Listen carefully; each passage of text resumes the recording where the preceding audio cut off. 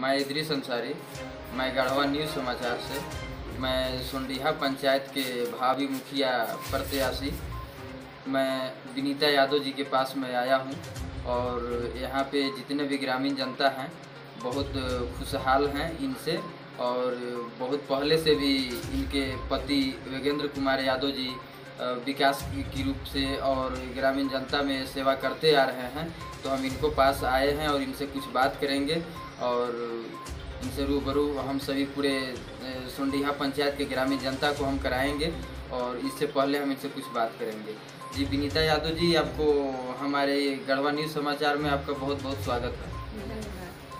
तो आप कौन सी पंचायत से आप आए हुए हैं? ग्राम पंचायत सोडीहा से जी तो आप ये बताइए आपका शिक्षा कितने तक है? आप बीए तक हैं।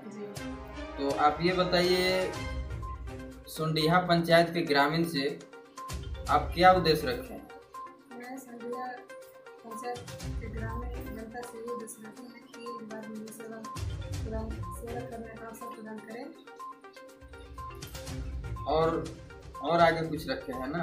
और मेरा सड़क शिक्षा सिंचाई चिकित्सा पेयजल बिजली का समुचित विकास वृद्धा पेंशन विधवा पेंशन विकलांग पेंशन का सरकारी लाभ दिलाना मेरा यही देखिए, इनका भाव विचार कितना अच्छा है, जो कि ये बोल रहे हैं जो जितने भी हमारे सड़क हो गया, सिंचाई हो गया, बिजली हो गया, और ये वृद्धा पेंशन हो गया, विधवा पेंशन हो गया, और विकलांग पेंशन हो गया, और ये जितने भी स्वास्थ्य विभाग के काम है, उस पर भी ये अपना उम्मीद को जताए रखे हैं और इनका इतना अच्छा स्वभाव है और इतना शिक्षित परिवार से हैं और ये शिक्षा ये बीए है इनका समझ लीजिए।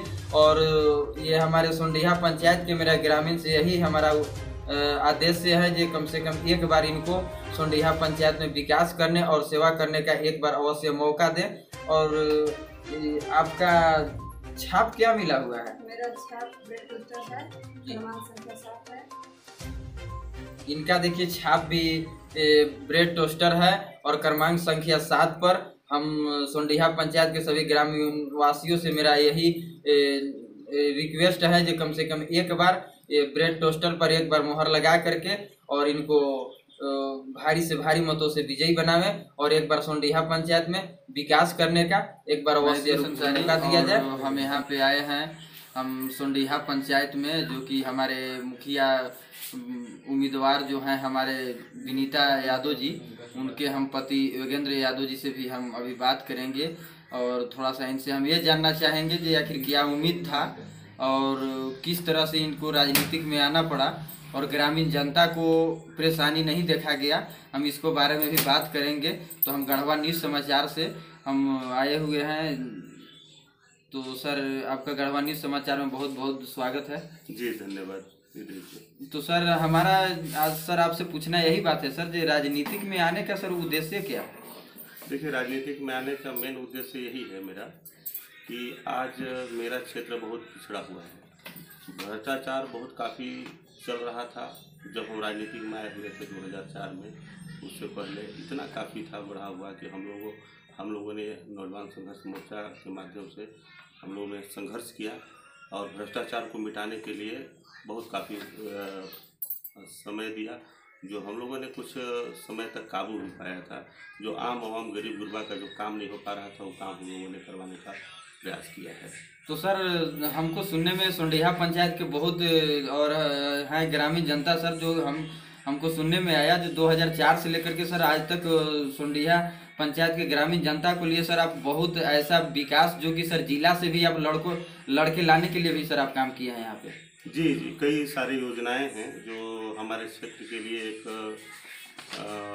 तस्वीर बनाने का काम किया है। जैसे आपके सगमा ब्लॉक का मांग हमने किया था बल्हा बाँध का मांग किया था भूखी नगर रोड का चौड़ीकरण मांग किया था, जो सगमा से सोंडिया होते, बीरबल होते, नगरी रुसैया धुर्ती खला कुटिया को जोड़ता है, उसका भी हम लोगों ने मांग किया था, जो बना प्रधानमंत्री सड़क योजना, पहले ग्रेड टू करवाया गया, फिर इसके बाद प्रधानमंत्री सड़क योजना से जोड़ा गया, और क्षेत्र में हमारे जैसे गाँव में बिजली नहीं था, पंचायत में बिजली नहीं था, हालाँकि उस समय हम लोग सिर्फ़ गाँव तक ही लाभ पाए थे, ये सच्चाई है। तो हम लोगों ने बिजली भी अपने पंचायत के कुतुर गाँव में पहुँचाने का काम किया था और कई सारी योजनाएँ थी जो हम लोगों ने किया है। और सर, हमको सुनने में आ रहा है, ये सोंडिहा, जो उत्तरी सोंडिहा है सर, उस उधर दक्षिण से साइड, से सर उधर जाने में, जो कि अगर बारिश होता सर, अगर ये बारिश का मौसम जब होता तो आदमी को आने जाने में बहुत परेशानी होता था सर। सुनने में आया सर, जो वहाँ पर भी सर आप बहुत लड़ाई लड़े सर, और कुछ अपने सहायता से भी सर आप वहाँ पे कुछ पुल भी बनवाने का काम किए हैं। जी